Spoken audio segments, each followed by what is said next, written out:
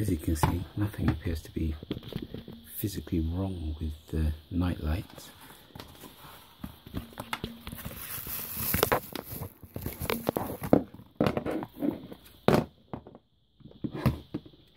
Just now attaching input in the plug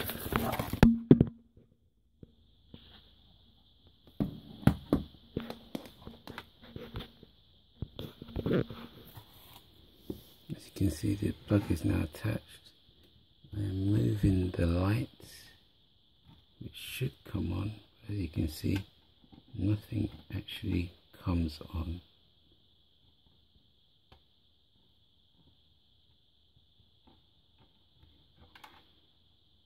It's all fully properly connected and nothing is actually responding on the night light. So it seems like some sort of connection within the nightlight itself is is not working